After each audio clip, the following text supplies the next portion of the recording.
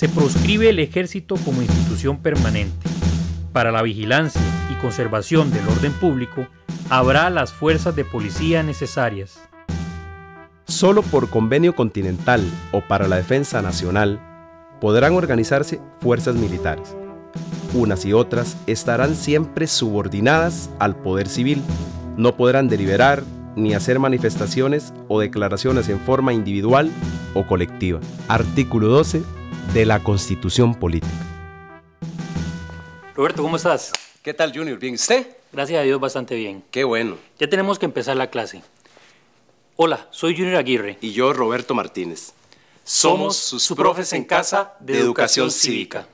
Hoy trataremos la abolición del ejército y sus beneficios para el país. Veremos cómo el eventual gasto en su mantenimiento se transforma en inversión en educación y salud. Ante la ausencia de ejército, la defensa de la soberanía del país se confía a la solidez de sus instituciones democráticas y el derecho internacional. Para Costa Rica, el derecho internacional es fundamental debido a que nuestra opción por la no militarización nos plantea la responsabilidad de fortalecer y participar en la resolución de conflictos utilizando los mecanismos que nos posibilitan los convenios y tratados internacionales. Un ejemplo de la utilización del derecho internacional para dar respuesta a un conflicto o diferencia, en el caso de Costa Rica, fue acudir a la Corte Internacional de la Haya para resolver diferencias limítrofes entre Costa Rica y Nicaragua.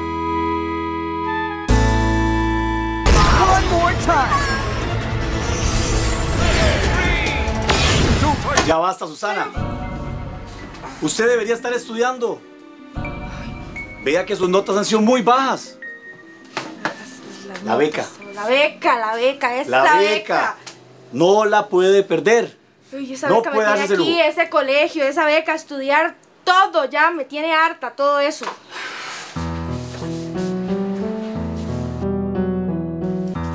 Ya, ma, y ese milagro, usted aquí en la casa almorzando, siempre se queda en la oficina.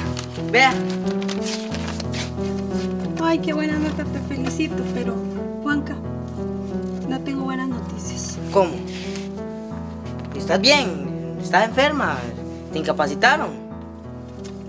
Sí, mi amor, estoy bien, pero en el trabajo solo me van a dar medio tiempo.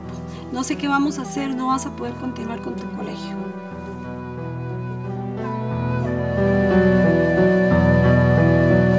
Vea. Ay, qué buena nota, Juanca. Sí, pero nada sirve porque me va a tener que salir del cole. ¿Y vos estás triste por eso? Yo más bien estoy pensando en salirme y trabajar y comprarme mis cosas. ¿Estás segura de lo que estás diciendo? ¿Lo has pensado bien?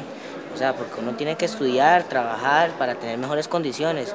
Y ay, yo estoy triste y frustrado de saber que me tengo que salir del cole. Frustrada yo. Ayer estaba a punto de ganar un videojuego de guerra y después el insoportable mi papá llegó y me mandó a estudiar. Me dijo que no podía perder la beca en el colegio. Beca, ¿vos tenés beca? Sí, sí, yo tengo. Hola beca. chicos, los escuché hablar de guerras y de becas. Profe, pero las guerras no tienen nada que ver con las becas. Claro que sí. Gracias a que nuestro país no invierte en ejército, puede invertir en el bienestar social de nuestra población. Costa Rica, el país democrático en que vivimos, lo hemos construido entre todos y sigue construyéndose día a día. La abolición del ejército constituye un elemento trascendental en la historia para la consolidación del sistema democrático costarricense. Esto lo estudiamos en clase, cuando analizamos la guerra civil de 1948 y los cambios profundos que ocurrieron en esta época en el país. La abolición del ejército nos ha dado grandes beneficios en el área social, política y económica. Sin golpe de Estado. Sí, por eso somos uno de los países con mayor estabilidad política de Latinoamérica. Y tenemos elecciones ininterrumpidas cada cuatro años. Sí, desde 1953. Hay países en condiciones de pobreza que invierten gran parte de sus recursos en gastos militares. Nosotros, por el contrario, al no tener ejército, invertimos en salud, educación, escolaridad, alfabetización, agua potable, servicios eléctricos, telecomunicaciones y en el fortalecimiento de las instituciones que trabajan por el desarrollo humano. En teoría todo suena muy bien, profe. Y en realidad, La realidad es que tenemos grandes desafíos por resolver. como la violencia, la pobreza, la desigualdad, eh, la justicia. O sea, es una guerra. Sí, pero no de matarnos, sino de, de trabajar y organizarnos para el desarrollo de las comunidades y del país. Exactamente. ¿Quién me puede decir cuál es uno de los grandes desafíos de nuestra sociedad? Ay, profe, muy fácil, la corrupción.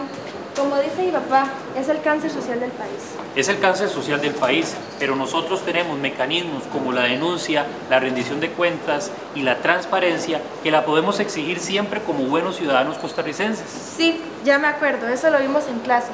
Debemos organizarnos y practicar una ciudadanía activa. La transparencia y la rendición de cuentas son mecanismos de gran importancia. Para proteger este derecho de la ciudadanía existen órganos institucionales y jurisdiccionales. En Costa Rica tenemos una Procuraduría de la Ética Pública, encargada de detener, prevenir y erradicar la corrupción. La Contraloría General de la República vela por el buen manejo de los fondos públicos.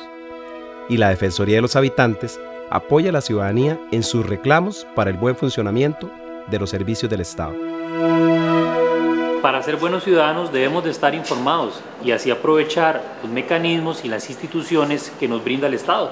Ahora comprendo toda la historia que hay detrás de mi beca. Profe, ¿usted sabe qué vueltas hay que hacer para conseguir una beca? Claro, yo estoy en el comité de becas. Si querés me acompañás. Chao, sí, sí. Hasta luego, Chao. Susana. Hoy repasamos la trascendencia de la abolición del ejército, sus beneficios en el área social, económica y política de nuestro país. Señalamos también el ahorro de los gastos de mantenimiento de un ejército y su inversión en educación, salud y otras áreas. Hay países en condiciones de pobreza que invierten gran parte de sus recursos en gastos militares. Nosotros, por el contrario, al no tener ejército, invertimos en salud, educación, escolaridad, alfabetización, agua potable, servicios eléctricos, telecomunicaciones y en el fortalecimiento de las instituciones que trabajan por el desarrollo humano. Repasamos la importancia de las instituciones democráticas y el derecho internacional como mecanismos de protección de nuestra soberanía. Para Costa Rica, el derecho internacional es fundamental debido a que nuestra opción por la no militarización nos plantea la responsabilidad de fortalecer y participar en la resolución de conflictos utilizando los mecanismos que nos posibilitan los convenios y tratados internacionales. Y vimos la necesidad de fortalecer la transparencia y la lucha contra la corrupción. Lo invitamos a que conozca otros temas de gran importancia consultando los vídeos de Profe en Casa. Nos vemos.